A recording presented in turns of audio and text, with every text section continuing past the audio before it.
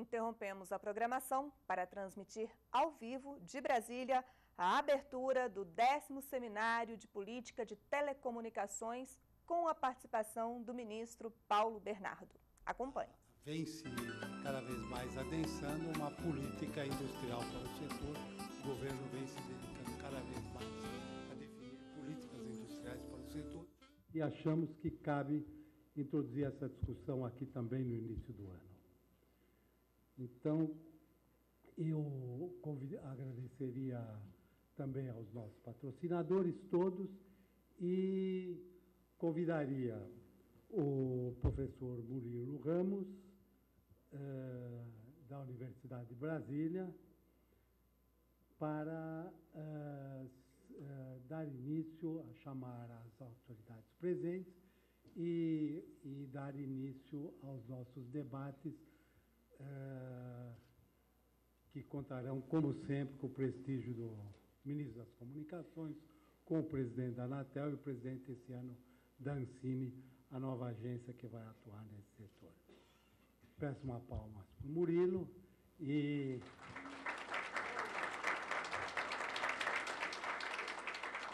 Um bom evento a todos. Bom dia. É, inicialmente, uma palavra rápida, que a gente repete todo ano, que é o agradecimento à Converge, ao Rubens, Samuel, André, em nome deles, a toda a equipe da Converge, por essa parceria tão exitosa já de tantos anos, em que a Universidade de Brasília é, copatrocina esse debate que inicia o debate político das comunicações do país. É, é, a cada temporada, a cada ano. É, vamos dar início, então, ao seminário com o primeiro evento do dia. É, o evento é um debate sobre a agenda política de 2012 para as comunicações.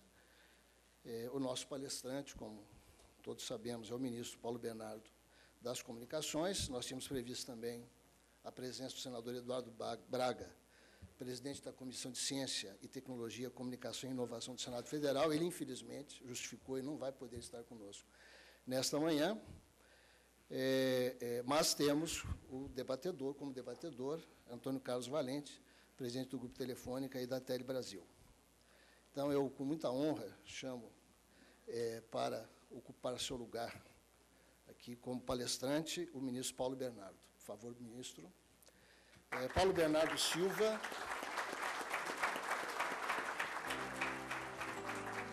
Nasceu em 10 de março de 1952, na cidade de São Paulo. É, bancário, foi eleito deputado federal pelo PT do Paraná para a primeira legislatura de 91 a 95. Foi reeleito em 94 para o segundo mandato, no qual, durante o qual foi vice-líder do PT e presidente da Comissão de Fiscalização é, financeiro e controle, finanças e controle. No 99, assumiu o cargo de secretário. É, eu fui avisado de que o celular ligado poderia dar microfonia, talvez seja isso. Está desligado. É, em 99, assumiu o cargo de secretário da Fazenda do Estado de Mato Grosso do Sul, onde permaneceu até o fim de 2000. Foi ele a secretária de Fazenda do município de Londrina, de janeiro de 2001 a março de 2002. Em 2012, foi eleito para o seu terceiro mandato na Câmara Federal é, e novamente vice-líder do PT e presidente da Comissão Mista de Planos, Orçamentos Públicos e Fiscalização. Licenciou-se em março de 2005 para assumir o Ministério do Planejamento, Orçamento e Gestão e desde 1 de janeiro de 2011 tomou posse como ministro das Comunicações. Ministro Paulo Bernardo, prazer, uma alegria ter o senhor conosco aqui. Eu convido para tomar seu lugar à, mesa o debatedor Antônio Carlos Valente, presidente do Grupo Telefônico. Antônio Carlos Valente é presidente executivo do Grupo Telefônica no Brasil, membro dos conselhos de administração da Telefônica Internacional SA e da Telesp, Telefônica de São Paulo, e presidente de, da ACIET, Associação Ibero-Americana de Centros de Investigação, Pesquisa e Empresas de Telecomunicações. Foi presidente da Telefônica no Peru, diretor-geral para temas regulatórios do grupo na América Latina e vice-presidente da Anatel, Agência Nacional de Telecomunicações, entre dezembro de 2001 a junho, de 2004. Antônio Carlos Valente é engenheiro, pós-graduado em Administração e Negócios, com curso de especialização em Gerência de Sistemas e Negócios. Muito bem. Feitas as apresentações,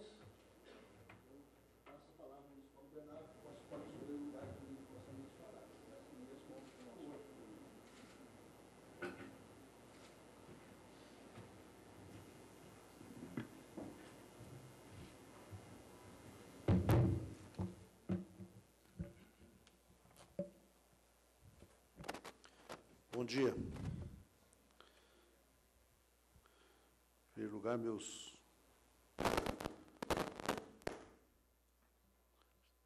Vai ver que eu também estou com o celular.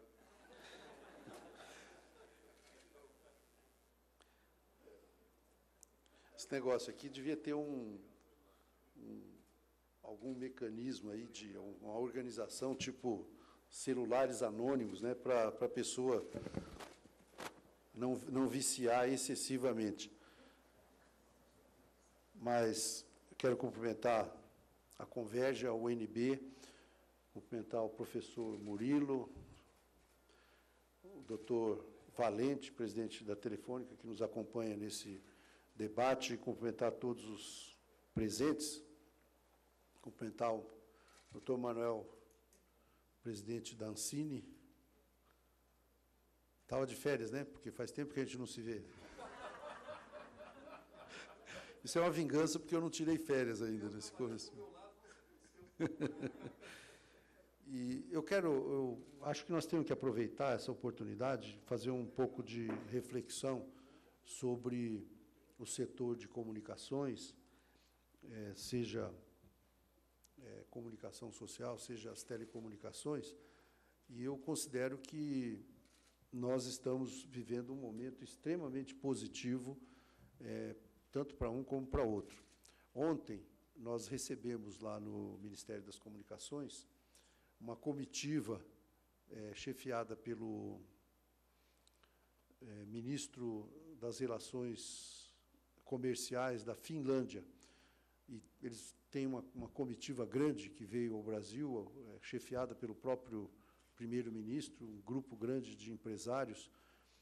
E, de fato, o pessoal, mesmo tendo informações sobre a economia brasileira, o momento socioeconômico brasileiro, estou vendo aqui o Nelson Breve também, satisfação, Nelson, é, presidente da IBC, e, mas o pessoal se surpreende, Valente, quando a gente fala que os números do setor. Né? Na verdade, quase que invariavelmente, crescimento na faixa de 20%. Embora a economia tenha crescido alguma coisa entre 3, 3,5, que nós não temos ainda o resultado, a verdade é que o número de é, assinantes de TV paga cresceu 30% em 2011.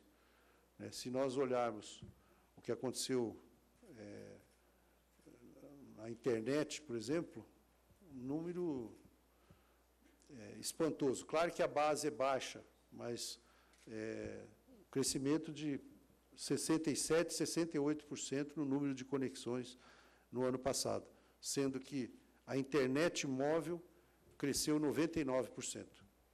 Nós lançamos o nosso programa de internet popular, que foi negociado com as empresas no meio do ano, com início de implementação em outubro e encerramos dezembro com mais de um milhão de um milhão e trezentos mil é, usuários e nós não temos os números todos porque nem todas as empresas mandaram ainda para a Anatel é, o levantamento. E além disso desse desse é, bom momento em termos econômicos em termos sociais a demanda crescente e esse ano tudo indica que nós vamos continuar com demanda muito grande, nós estamos avançando em questões regulatórias. Nós tivemos aprovação pelo Congresso, depois de praticamente cinco anos de grandes debates lá dentro e, e, e votado de uma forma muito exitosa do nosso ponto de vista, o novo, a nova lei 12485, que unificou todas as regras para televisão por assinatura. todos os, todo, independente da tecnologia, abriu para a participação do capital estrangeiro, abriu para a participação das empresas de telecomunicações, é, separou a, na cadeia produtiva o que é produção do que é, é distribuição, veiculação, abre um espaço enorme para a produção nacional, produção independente, e nós achamos que isso vai dar um impulso muito grande também para esse serviço. E apostamos, correlato a isso, a, a internet banda larga, que sempre vem associada com a, com a TV por assinatura.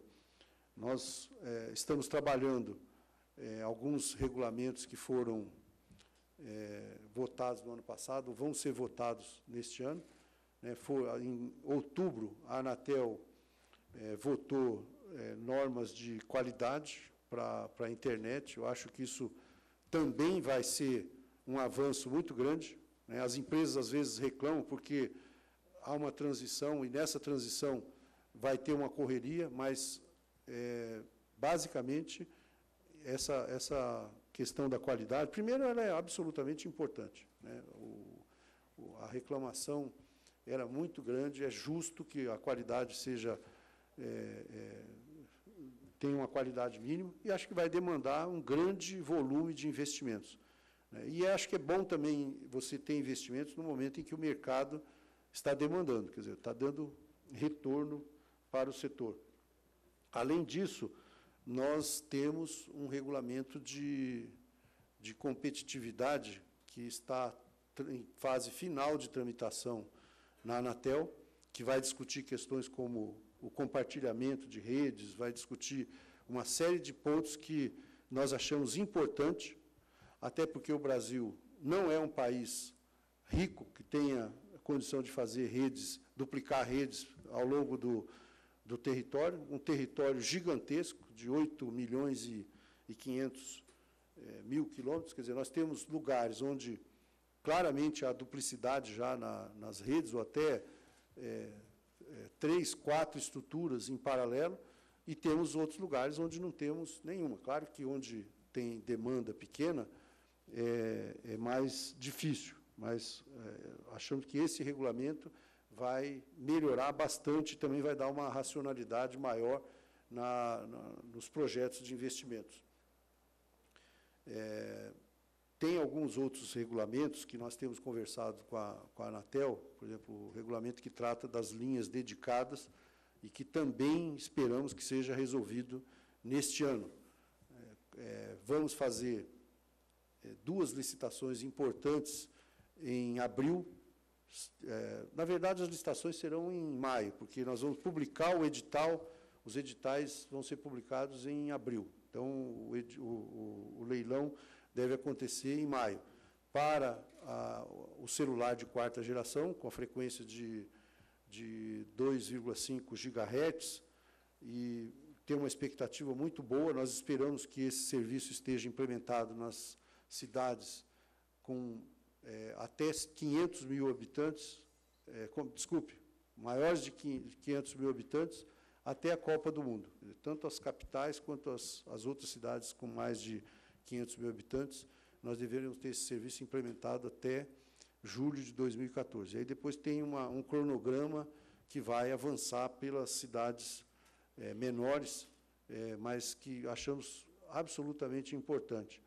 É, além disso, vamos fazer também o leilão para a frequência de 450 MHz, com o objetivo de implementar internet e telefonia na área rural.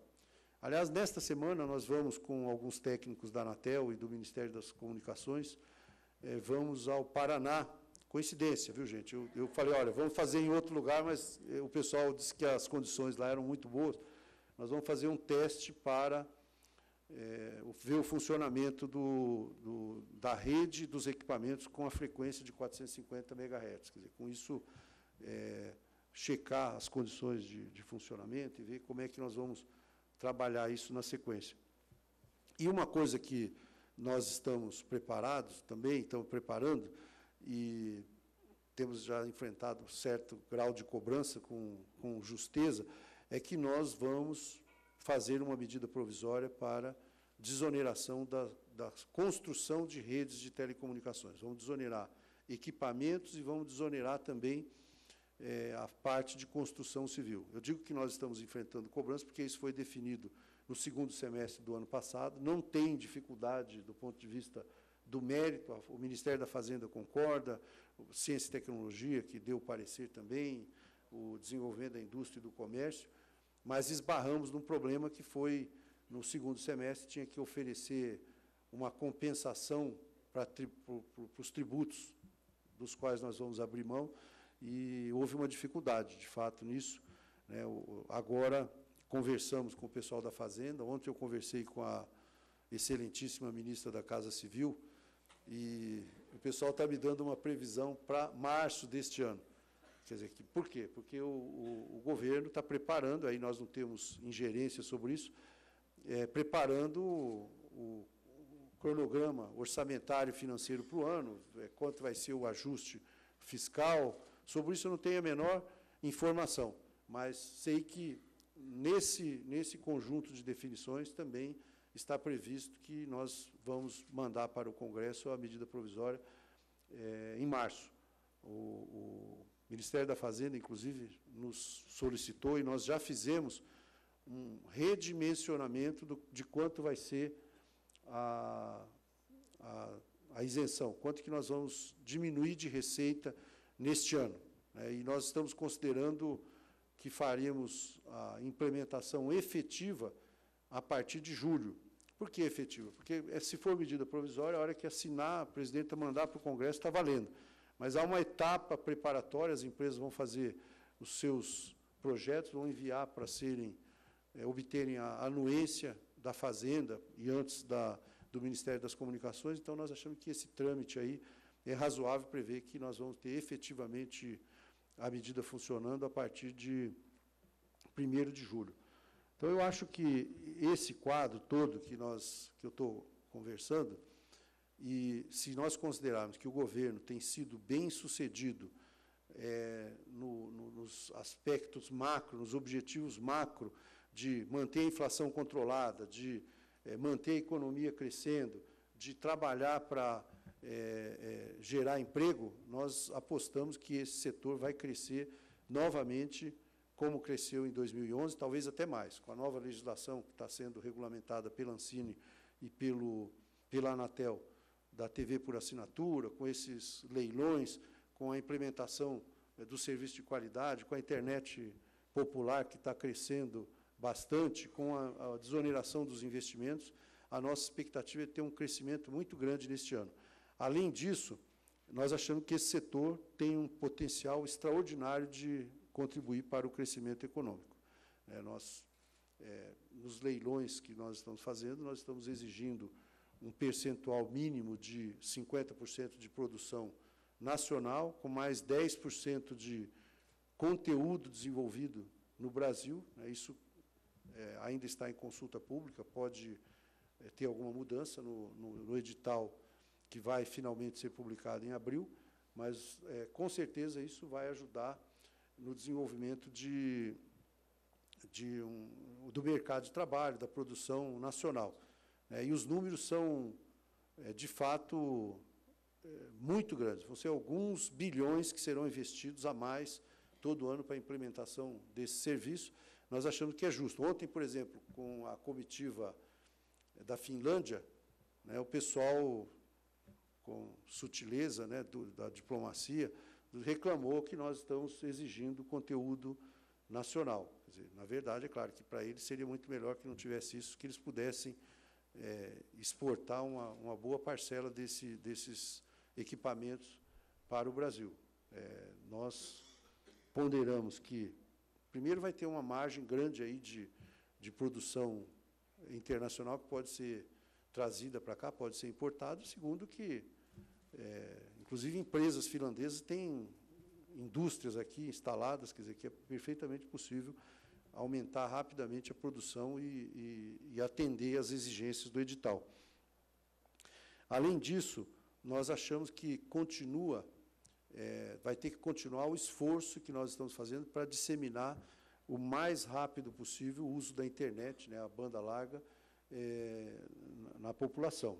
Nós estamos trabalhando, uma, avaliando a possibilidade de incluir na, na lei originada da, da MP do bem os smartphones, assim como fizemos com os computadores que foram desonerados, é, e também os tablets, nós queremos incluir os smartphones. Estamos tendo alguns contatos com as empresas, o setor que fabrica e também com as empresas operadoras, e temos, digamos assim, medidas, algumas, tem algumas reações que nos aplaudem, outras que querem brigar conosco, mas nós achamos que é importante baratear o uso desses equipamentos. Baratear o, o smartphone hoje significa dar para o, o, consumidor que quer uma conexão de banda larga uma opção é, que ele está procurando. Quer dizer, você dá, dá acesso e, o número do ano passado mostra, quer dizer, há uma demanda enorme e nós podemos crescer mais de 100% neste ano. Na área de, de comunicações, é, nós fizemos uma série de, de medidas no ano passado que consideramos que é, beneficiam bastante o funcionamento do setor. Por exemplo, nós fizemos um novo decreto é, de funcionamento, de, de seleção para rádios comunitárias, mudamos também, através de decreto, é, a, a outorga e o funcionamento das rádios e TVs educativas, Fizemos um decreto regulamentando as licitações para o setor de radiodifusão. Isso era importante porque, do nosso ponto de vista, precisava dar um empurrão no sentido da profissionalização. A verdade é que, analisando as, as licitações que nós estávamos fazendo, e muitos problemas que ainda tem lá, recursos, tem licitação que ainda não foi terminada, é, nós verificamos o seguinte, que nós, o Estado estava fazendo exige, poucas exigências e ensejando a entrada de, de empresas ou de pessoas físicas que às vezes não tinham nada a ver com o setor, não, não tinham demonstração de que tinham capacidade de não só de ganhar uma licitação, mas de montar uma emissora, de prestar serviço.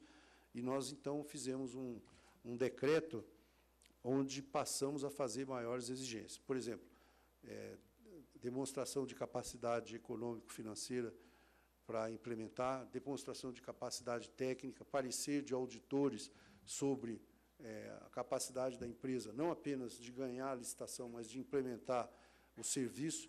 Então, mudamos, acho até que a reação do setor de radiodifusão foi muito boa, porque, de fato, vai prestigiar e vai melhorar as condições para quem é do ramo, para quem é profissional. E agora nós estamos é, preparando um novo decreto que vai regulamentar o funcionamento do, do setor de radiodifusão. Isso regulamenta a lei atual, nós ainda não temos o novo marco, que eu vou falar depois, mas é, o, o, decreto que nós temos é de 63, o decreto que regulamenta radiodifusão no Brasil. Quer dizer, é evidente que depois disso tem toda uma série de, de mudanças tecnológicas, mudança de gestão, é, mudou tudo. Então, nós vamos fazer esse decreto agora, esperamos é, mandar para a Casa Civil final de março, talvez final de abril, e, e, e debater com eles para levar a presidenta, se possível, ainda neste semestre. Nós estamos avançando bastante na, no processo de digitalização, né, da, das TVs.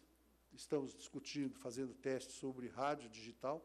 No caso da TV digital, nós, é, de novembro para cá, nós tivemos um começo de ano muito difícil, muito moroso na, na avaliação dos processos, mas de novembro, dezembro e janeiro, eu não tenho os números de fevereiro ainda, que estão muito bons, nós analisamos e deferimos 190 processos, 190 processos de, de atribuição de canal digital, principalmente para geradoras, que é onde nós estamos dando prioridade. E acho que até surpreendemos o setor, porque nós deferimos 190 canais e só 94 com parecer dos, dos as empresas que receberam esses canais, só 94 compareceram com toda a documentação, pagamento de taxas, essas coisas, portanto, praticamente metade ainda não, não compareceu. Mostra claramente que as empresas não estavam acreditando, não se planejaram para aproveitar esse momento. Né? Nós estamos procurando, inclusive vou fazer reuniões amanhã, vamos fazer algumas reuniões com a BERT para trabalhar isso. A nossa estimativa é que, neste semestre, todos os pedidos de geradoras para receber canal digital, de TV digital, serão atendidos, ainda nesse semestre. É, e tem, eu estou falando dos que forem feitos os pedidos, porque tem alguns casos onde em empresas menores, em alguns casos de empresas TV educativa, principalmente pequenas emissoras, é, ainda não nos entregaram o pedido. Então, nós vamos fazer agora um trabalho é, diferente. Vamos começar a procurar as empresas e chamar para conversar e ver como é que nós podemos ajudar. Acho que todo mundo aqui sabe, mas é bom falar. O BNDES tem linha de financiamento, tem uma série de, de possibilidades que ajudam os equipamentos como são mais comprados, estão barateando também, mas nós queremos avançar porque é, a nossa ideia é cumprir rigorosamente o prazo de, em 2016, é, desligar o sinal analógico.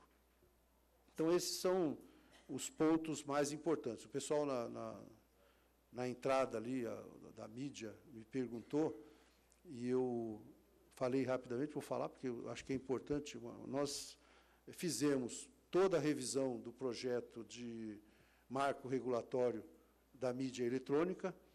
É, achamos que é, temos condição de começar a discutir prazos aí. A nossa ideia é colocar em consulta pública, né, já tínhamos falado isso anteriormente, mas achando que agora estamos aptos a debater. Então, estamos marcando conversas internas no governo, já é, marquei, é, já conversei e marquei outra conversa com a ministra Helena Chagas. É, vou, é, já estamos marcando com a Casa Civil, vamos fazer com a cultura, vamos fazer um avançar isso aí nos próximos períodos, fazer esse debate dentro do governo e depois com a presidenta da República para discutir a forma e o prazo de que nós vamos colocar é, o projeto em discussão. Do nosso ponto de vista, nós é, achamos que deveríamos avançar na regulamentação não só da, do setor de comunicação eletrônica, né, rádio e TV, basicamente, mas também discutir aspectos do setor de telecomunicações. Claro que a consulta pública vai abrir o debate, depois nós vamos chamar todo mundo para fazer uma discussão de como poderíamos avançar, em que parâmetros, que prazos, né, e sempre levando em consideração que nós precisamos envolver o Congresso Nacional, porque em última instância, quem vai votar, quem vai decidir. Não, não serão prazos pequenos, mas eu acho que pode ser menores se nós fizermos uma boa interação prévia, inclusive com o Congresso Nacional. Então, professor Murilo, eu vou encerrar por aqui, porque eu suspeito que passei do, do prazo que o senhor tinha previsto para essa palestra, depois aí me coloco à disposição para o debate. Muito obrigado.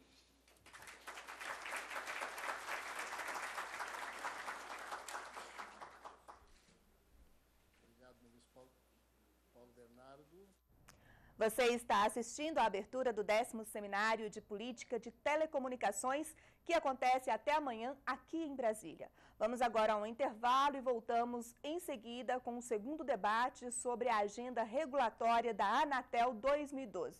Vamos aproveitar então esse intervalo para irmos ao vivo ao Palácio do Planalto, onde a presidenta Dilma Rousseff coordena daqui a pouco o primeiro conselho político, a primeira reunião do Conselho Político. O repórter Ricardo Carandina está no Palácio do Planalto e tem as informações. Bom dia, Carandina. Bom dia, Renata. Bom dia a todos. Bem, Renata, a presidenta Dilma Rousseff participa agora de manhã da primeira reunião deste ano do Conselho Político. Conselho Político que se reúne regularmente desde que foi restabelecido pela presidenta Dilma Rousseff em março do ano passado. Nesta reunião de hoje deve ser discutido o andamento da implantação das políticas públicas do governo federal. Participam da reunião, além da presidenta Dilma Rousseff, ministros de Estado e também líderes do líderes de partidos aliados do governo no Congresso Nacional. Ali no Congresso Nacional é que são votadas muitas das políticas públicas implantadas pelo governo, por isso é importante a discussão dessa relação do governo com o Congresso. A presidenta Dilma Rousseff também participa hoje, Renata, de, da recepção ao primeiro-ministro da Finlândia. O primeiro-ministro da Finlândia vai ser recebido pela presidenta Dilma Rousseff aqui no Palácio do Planalto às três horas da tarde. E também às quatro horas está prevista uma declaração da presidenta à imprensa, Renata. Obrigada, Carandina. Lembrando então que podemos voltar a qualquer momento com mais informações e a cobertura do seminário sobre as políticas de telecomunicações. Continue com a gente, NBR a TV do Governo Federal.